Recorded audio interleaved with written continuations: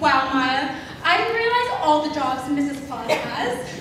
Me neither. Show choirs Mrs. Claus really got rid of my claustrophobia. Yeah. Up next is Sinfonia, Erskine String Ensemble, performing In the Bleak Midwinter by Gustav Holst and Troika by Sergei Prokofiev. In the Bleak Midwinter is based on a poem by Christina Rossetti, an elegant carol arranged by John Levitt. This piece captures the beautiful winter scene during this time.